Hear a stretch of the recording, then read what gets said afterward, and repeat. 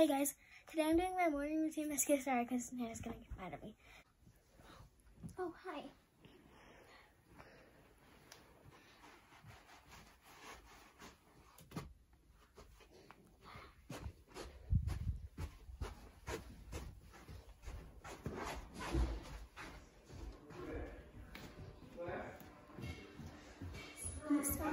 breakfast. Hopefully, we have the breakfast. Waffles, eggs, and You asked her to fix your food, so it's time to eat. Just because they would. This one is a bottle.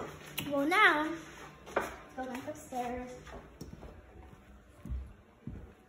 And we're gonna go to the bathroom so I can show you my hair that I can't mess up. And then we can do this.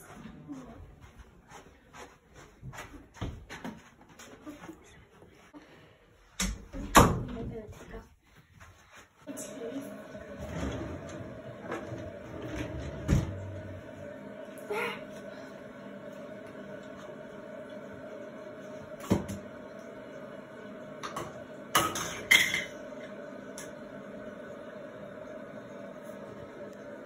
I'll show you guys when I'm done brushing my teeth. So now we're gonna take off my hair bonnet. Kind of messed the side up. But let's go to the room.